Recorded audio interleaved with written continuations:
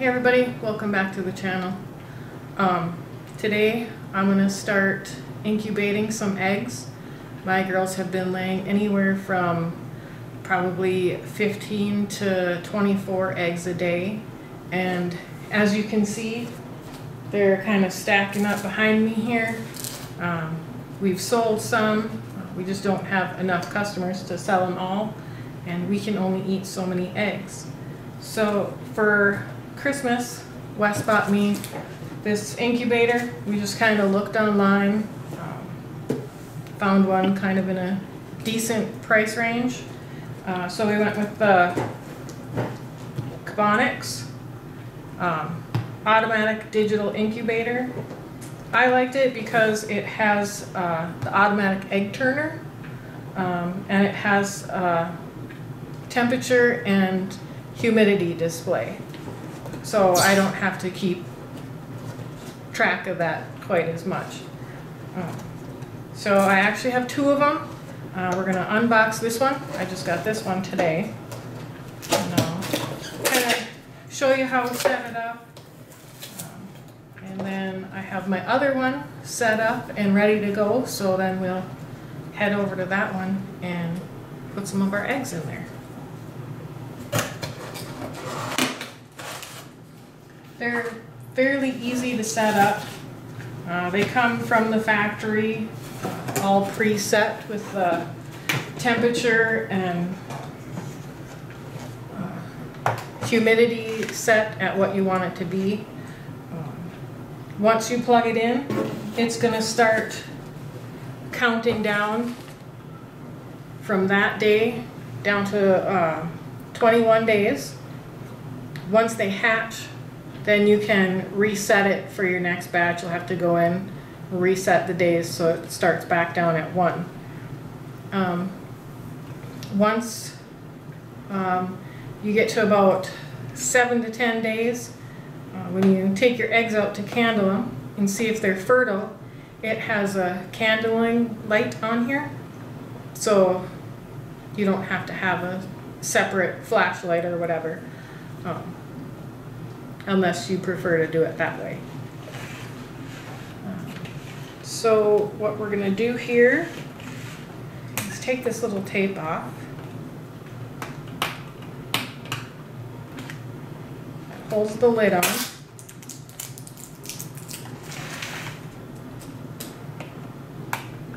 Um, it also, when it gets down to the last three days before hatch, you'll want to take the egg turner out and it will go on automatic lockdown.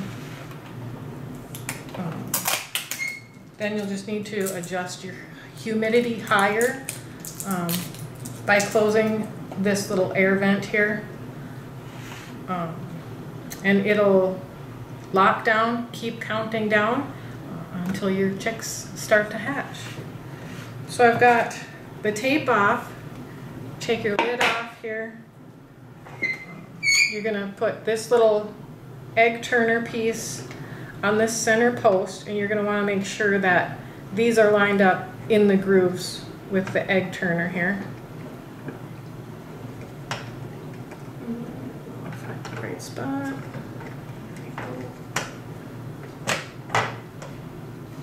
That's going to sit in there like that. This cord here, you're going to plug into the back and that's for your egg turner. So that's going to go in the one spot right here. Get that in there. We're going to get our power cord out. That's going to plug into the next spot over here.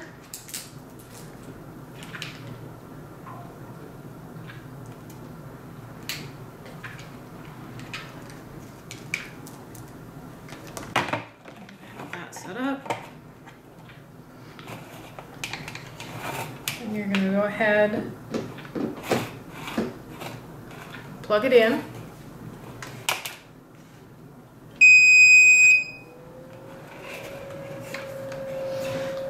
And it's going to display right here your temperature and your humidity level.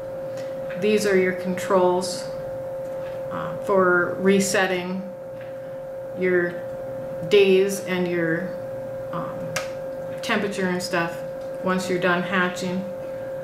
When it's heating, you're gonna have the red light on uh, and it will flash when it's heating.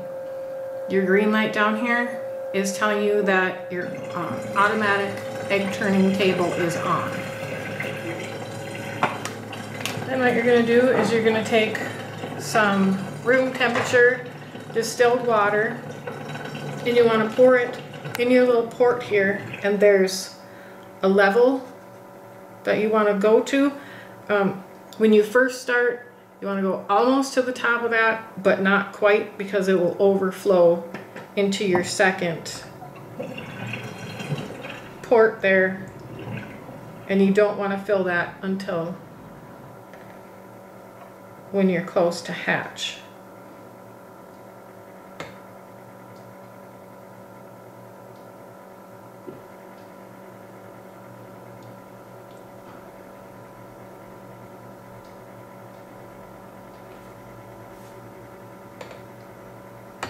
Okay. Now we've got that there. We're just gonna go ahead. You're gonna set the lid back on and you're gonna line up, there's two little slots on the side here and you're just gonna line that up like that, set it on there secure. It's gonna show you up at the top that your temperature and your humidity are either climbing or lowering. Um, what you're gonna wanna do to test your egg turner is you'll push the plus button and you just want to do that and make sure that it's working.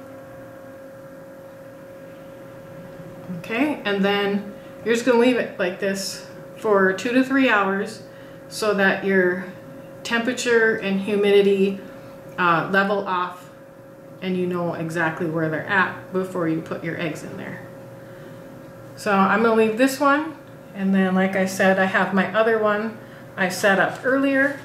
So now we're gonna go over there and I've got a dozen eggs. They will each hold a dozen.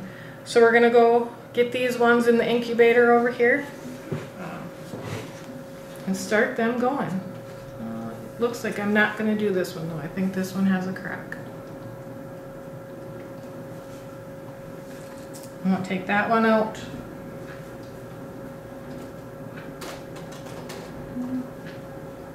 Just gonna grab another one.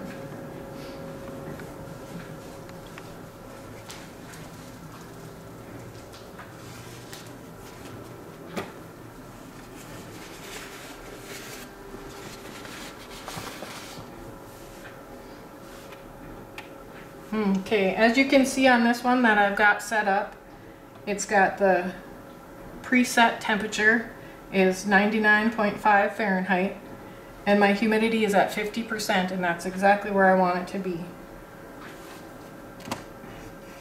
So I'm going to go ahead, take the lid off. Try not to drop it on the floor. And then I'm going to go ahead and take my eggs and you're going to want to lay them in there with the pointy side facing in this one might be a little too big. I don't think that's going to roll on its own. So I'm going to have to get another one of those too. But you take the pointy side and you put it in because that way when it's time to hatch and you take this out, there's going to be room when they come out the end of the egg. Go ahead and fill this up.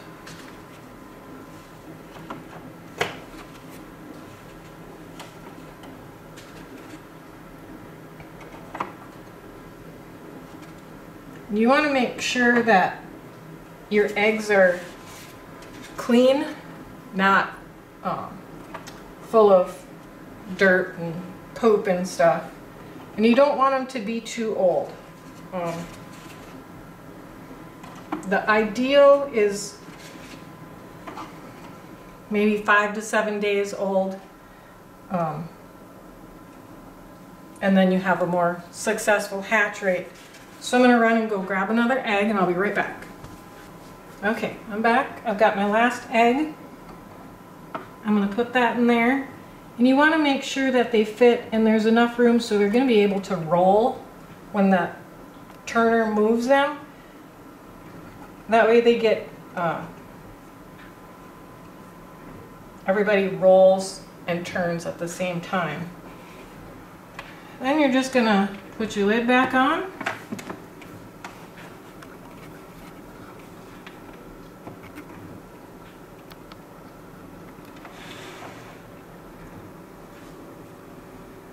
That's it. You're just gonna let it do its thing. About every day and a half to two days, you're gonna wanna come back and check and uh, see how much water you have in your little fill port here and probably add some more water if your humidity level is down. Um, as you can see from having the lid off just to put the eggs in there, the temperature went down to 90 degrees Fahrenheit and our humidity dropped in there a little bit. So that's gonna come back up. We're gonna leave these for about seven or eight days. I'll come back and uh, we'll candle them and we'll see how many are fertile. And uh, tomorrow I'm gonna go ahead and, or maybe later this evening, I'll go ahead and load up our other incubator there and we'll go from there.